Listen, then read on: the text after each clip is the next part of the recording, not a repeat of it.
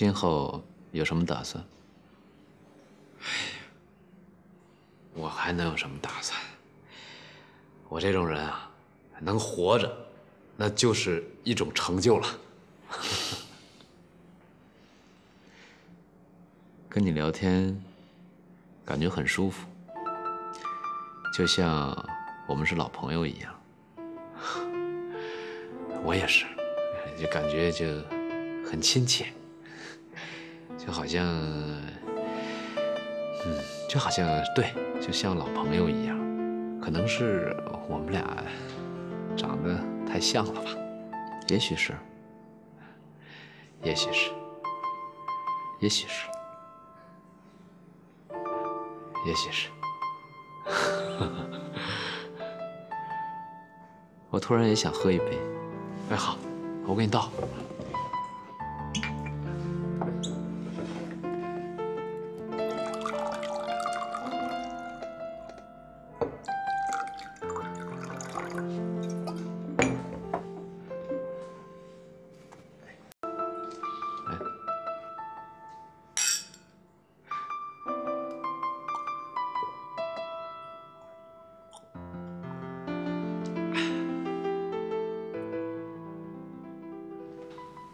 按照合同，这是剩下的一半钱，你数数。数啥呀？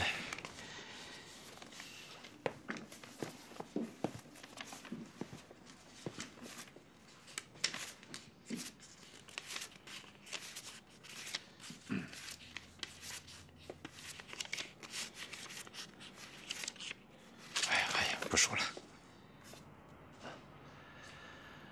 没想到啊，我们的合作这么快就结束了。是啊，就感觉像做了一场梦似的。说了，别人都不会相信。说句心里话，我真希望大铂金的董事长真的就是你。如果要真是我这个笨蛋，你就可以施展你的才华了，是吧？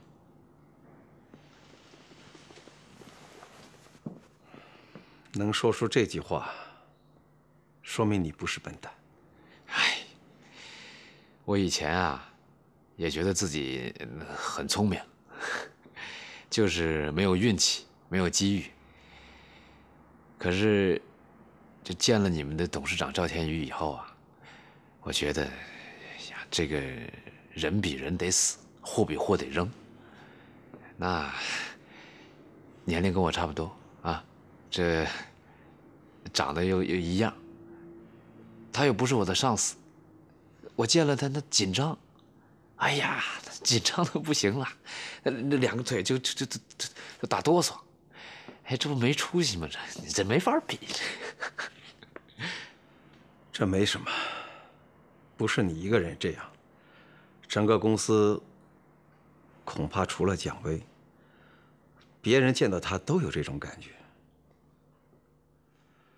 唉，反正你就要走了，我们以后也许见不到面了，有些话我也只能跟你说说。赵天宇确实在很多方面都比我强，但他最大的局限是没有受过现代商业管理的系统教育。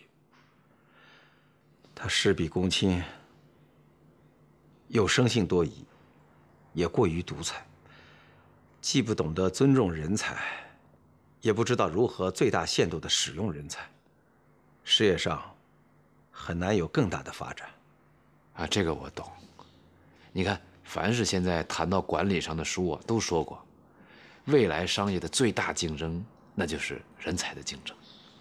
你看，连你这个自学成才的人都知道这个道理。好了，我不耽误你的时间了。祝你早日实现自己的梦想，开一个大公司，我去给你打工。哎呀，别开玩笑，反正这段时间，呃，谢谢你啊。哎，哪里哪里，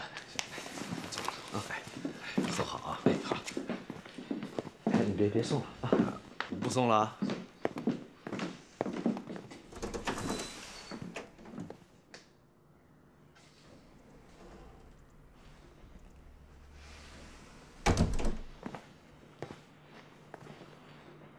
方总你能不能在公司帮我找份别的工作呀？做什么都行啊。那你得先整容。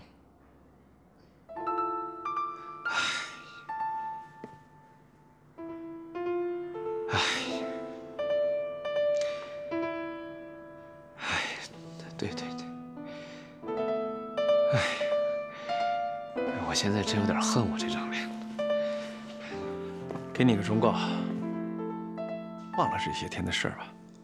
你说的对，就当是一场梦。对，一场游戏一场梦。好的，我走了。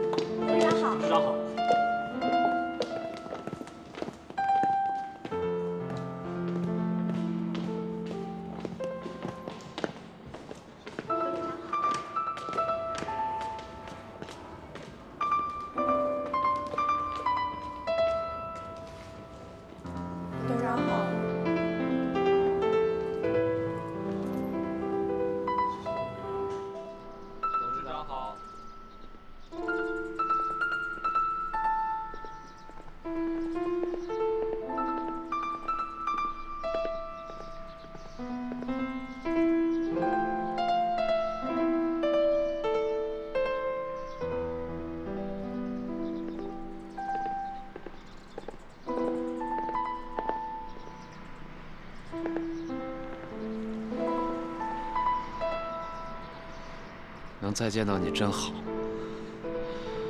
我还以为再也见不到你了。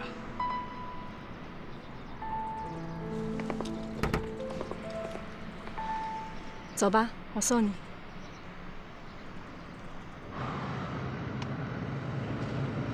送你去哪儿啊？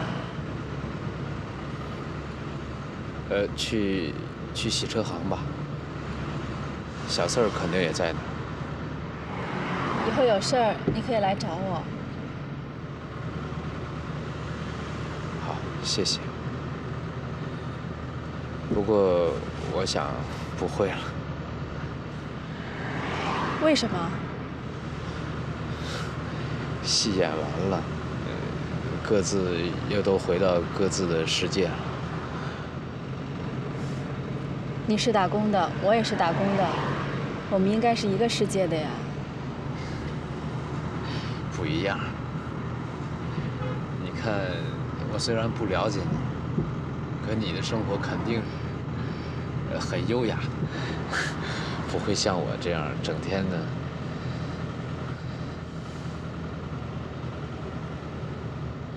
其实，其实我读过中专，也看过很多书。也有过好多好多梦想，那你为什么不找一份稳定的工作呢？哎呀，现在大学生找工作都挺难的，更何况像我这样的。我有一些朋友在别的公司，你可以给我一份你的简历。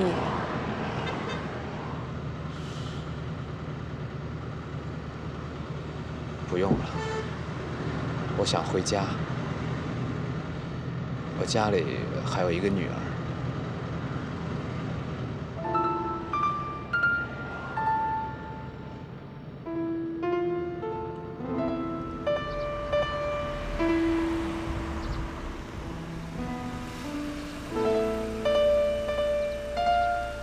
呃，我就走了啊。等一下，周先生。这是两万块钱，是董事长给你的奖金。呃，这个我不能要。为什么？呃，君子爱财，取之有道嘛，我就应该拿按合同上的那个数目。可你任务完成的非常出色呀，还说服了郭行长。呃，这个那不是我应该做的吗？再说，你不是送给我一套西装了吗？不能要，不能要，真的，快收起来吧。小姐，我想告诉你一句话：你是我见过的最完美的女人。谢谢。我走了啊。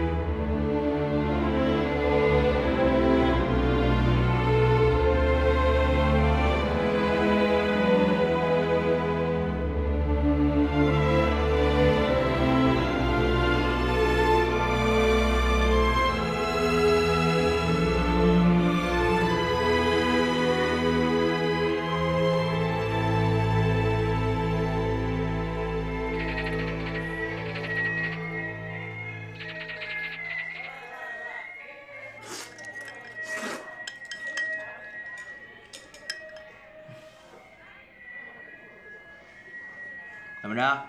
想谁呢？我这心里老想着一件事儿，他我给忘了，什么事儿呢？是不是想蒋薇或者方立新呢？反正不是想赵天宇。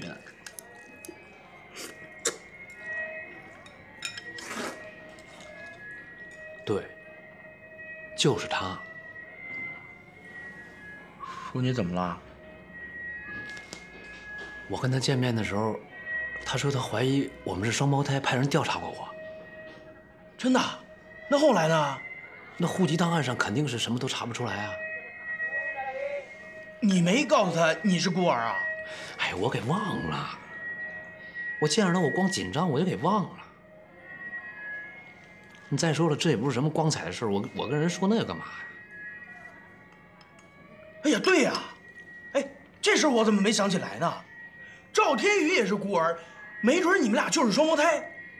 哎呀，我怎么早没往这儿想呢？哎，叔走，咱认亲去。哎，发达了。哎，行了行了行了，什么发达？那证据呢？我只知道我是孤儿，我其他的什么都不知道。哎，你们俩长得像就是证据。不行不行，我不能去。这说实话。要是他不是什么大老板，没准我还真的去问问。可现在我我不能去，为什么呀？哎，那说不定你们就是兄弟呢。哎呀，差距太大了，你让别人怎么想啊？你肯定以为我这贪图什么人家的钱财呢。哎呀，你你们是一家，你管别人怎么想呢？你就算是亲兄弟，那那那那人家好不容易就挣了那么大的家业。啊，这我就出来了，跟人说我们可能是亲兄弟，我有这个脸吗？我，你急死我了！你，你你这叫死要面子活受罪！好了好了好了，别说了别说了，我脑袋乱七八糟的。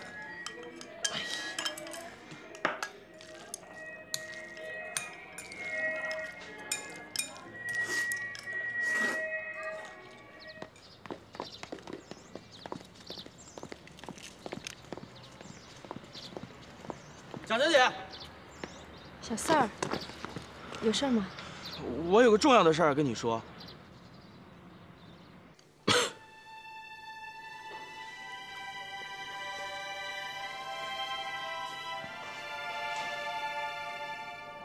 周英文，他现在人呢？他喝醉了。在他的临时住处。那个小四儿呢？他在外面等着呢。如果你同意，我会亲自去孤儿院调查此事。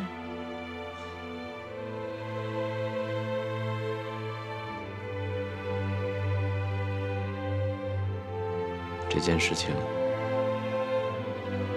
不能惊动任何人。这样，你让小四儿去搞一点周英文的头发，给我们做个鉴定。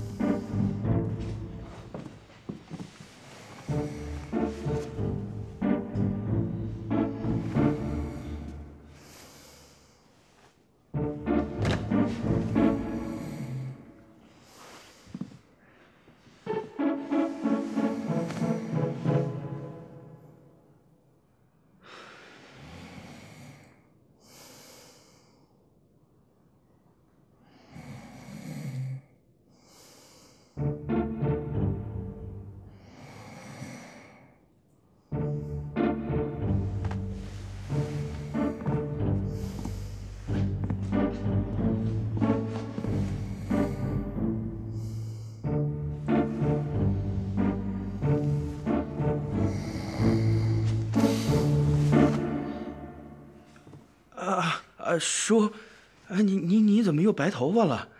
哎，你这么年轻就有白头发了，你，叔，叔。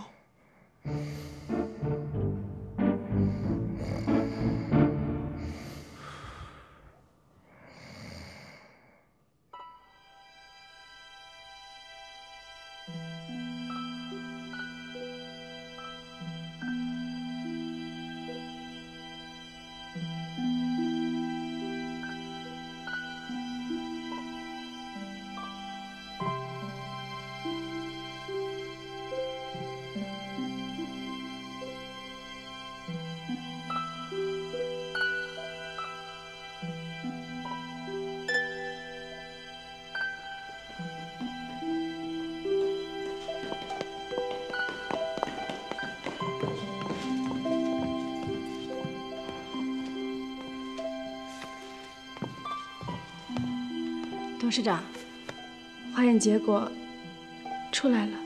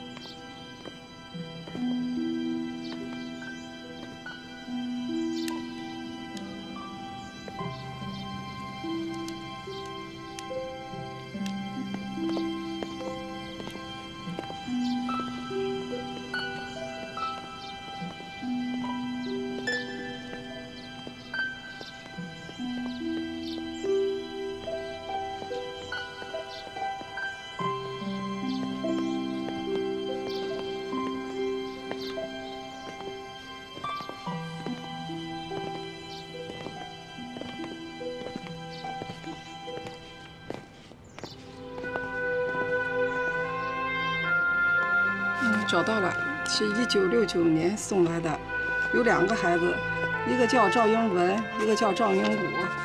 送来的时候刚满一岁，英文是哥哥，英武是弟弟。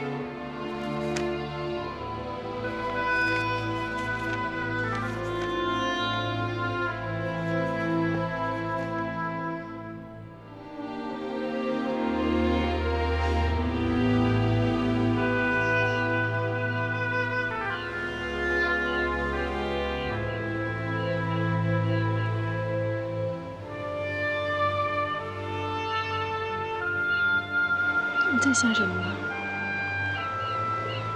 没想什么。这里很美，我喜欢到这儿来。有晴天的时候，阴天的时候，也有雨天、雾天的时候。不管什么时候。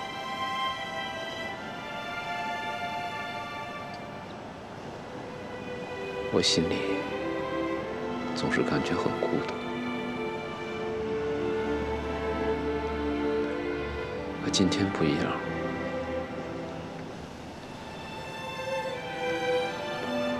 我找到了一个哥哥，一个跟我长得一模一样的亲哥哥，我有亲人。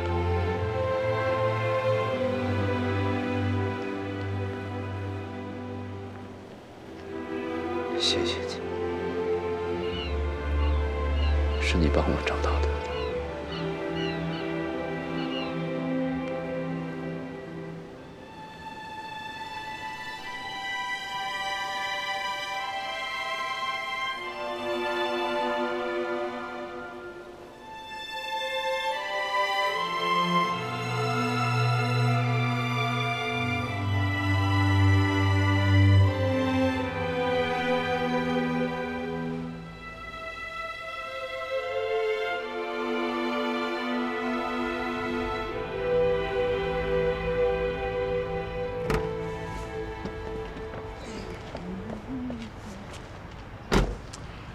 哎，我说，把那缝里头给我好好擦擦啊，别留灰哈。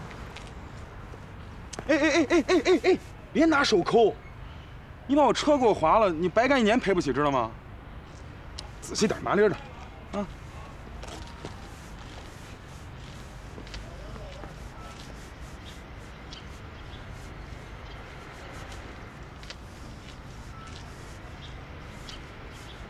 擦什么呢？擦什么呢？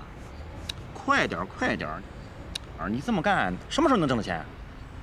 快点儿，快点，快点，快点儿，快点儿，快点儿，快点儿，快点儿，快点儿，快！这么着，这么着，这么着，快点儿，快点儿！哎，快点儿，快点儿，再快点儿，再快点儿，再快点儿！哎。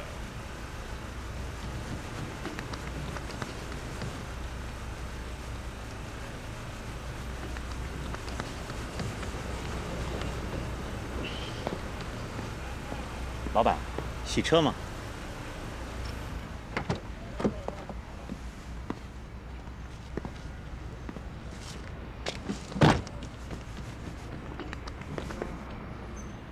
你这儿洗车多钱一次？热水洗车十块，我可以优惠给您办张年卡，只要八百，您可以天天来洗车。我办五张。好啊，好啊，但是有个条件。行。你亲自给我擦车。呃，行啊，行啊。擦。呃，我先给您冲冲。先擦。擦。哎，没问题。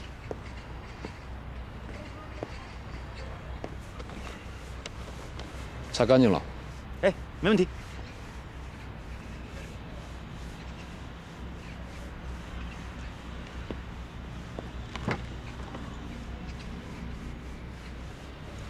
上车吧。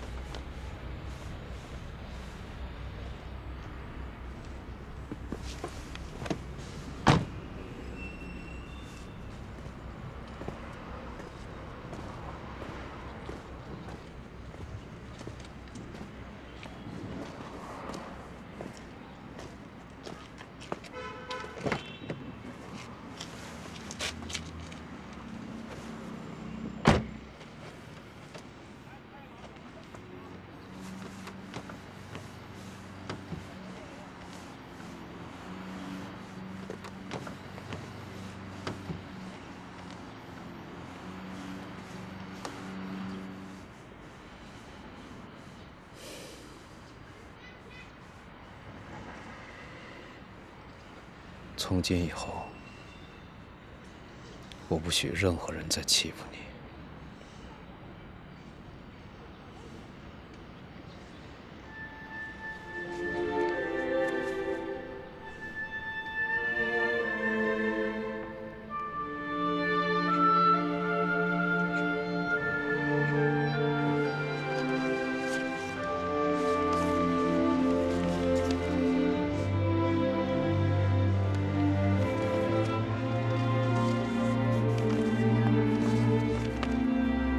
是我们两个人的鉴定。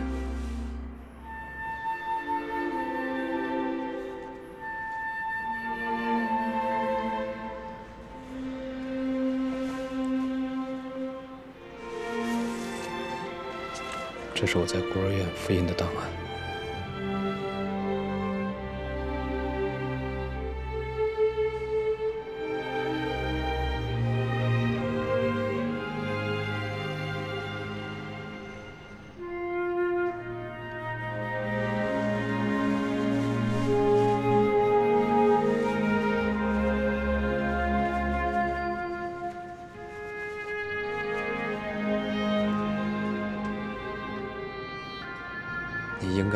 这个吧？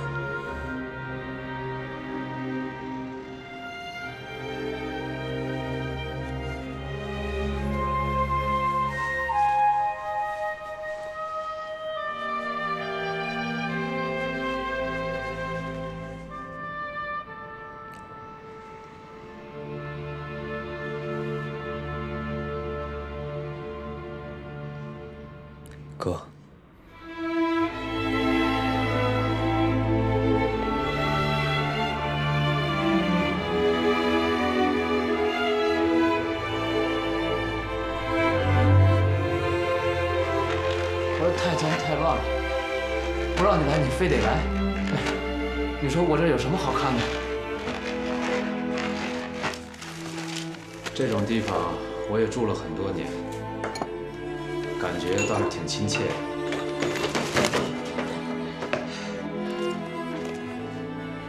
我说太乱太脏了。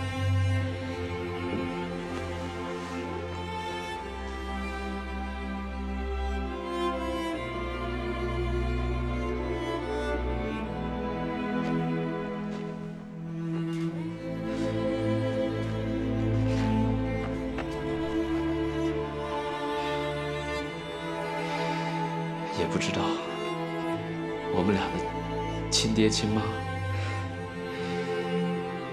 干嘛这么狠心呢？不重要了。从我走出孤儿院大门那一刻起，我就告诉过自己，从今以后，这个世上只有我一个人向前走，苦也罢，乐也罢。哭也罢，笑也罢，生也罢，死也罢，不会有什么亲人安慰我、拥抱我。再苦再难的事儿，都要我一个人挺过去。那一年，我十八，刚刚高中毕业。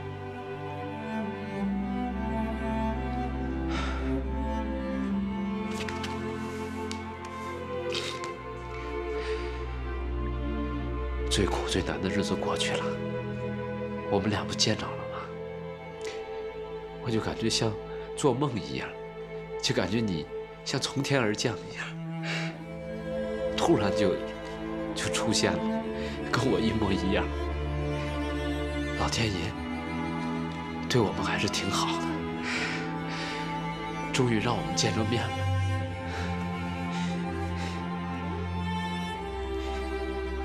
终于让我们见到面了。对我不薄，老天爷对我周英文不薄，让我知道我有这么一个弟弟，有这么一个了不起的弟弟。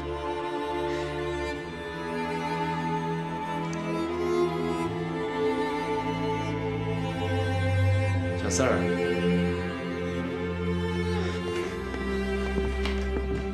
说，赵老板，别叫赵老板。从今以后，我我会把你当成亲侄子。是赵老板，还叫赵老板？我应该是你二叔。叔，二叔。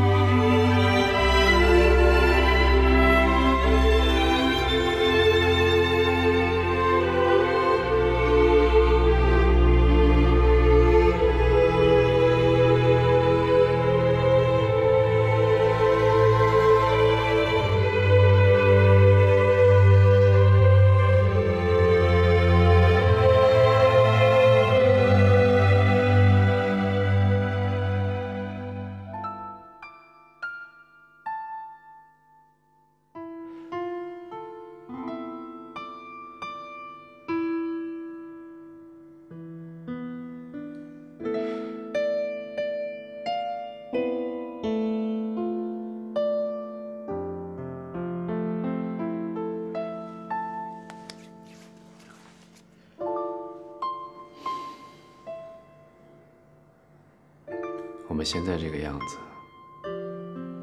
要是走出去，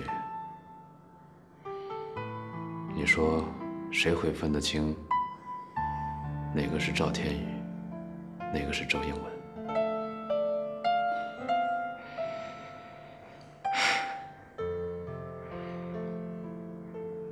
可是，长得一样有什么用啊？这哥哥跟你没法比，哥哥是窝囊废。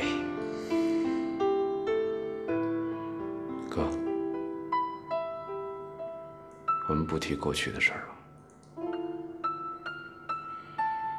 从现在开始，我要跟你一起开始一个新的人生。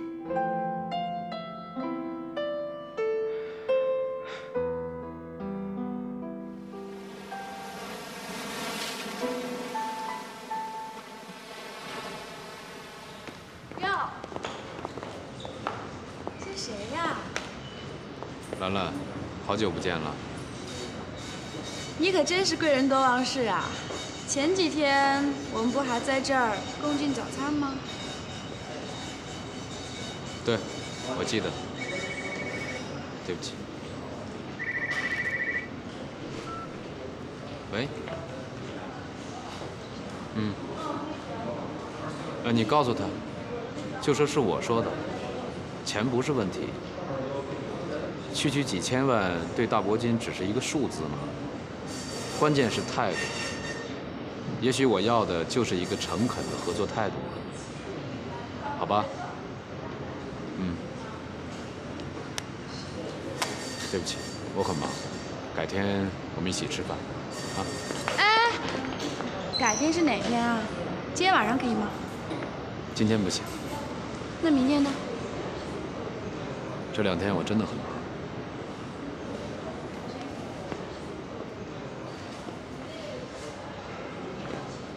我们一起喝杯咖啡吧。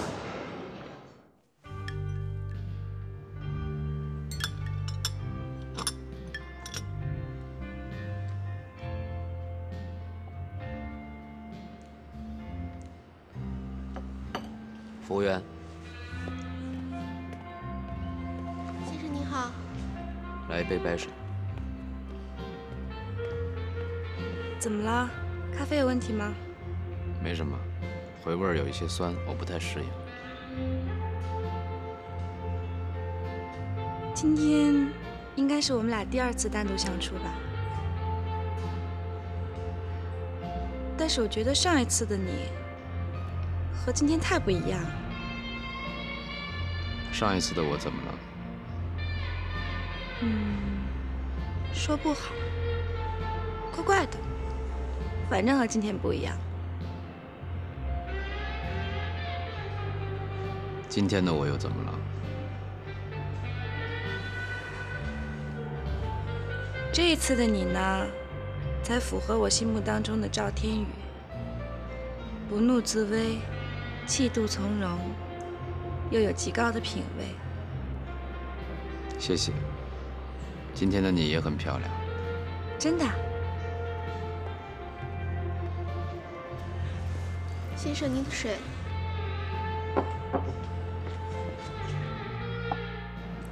天宇哥，嗯，对不起啊，我不知道我可不可以这么叫你。当然可以。我不是一直叫你兰兰吗？嗯，我能成为大铂金的形象代言，觉得特别的荣幸。应该感到荣幸的是我们。为了加深这份荣幸，我们打算出一套计划，让你为更多的产品代言，同时增加你的出镜率和媒体报道量。这只是近期的一些计划，下一步，也许你该进军影视界了。嗯，嗯你不是在跟我开玩笑吧？我们在谈生意啊，我从来不拿生意开玩笑。嗯，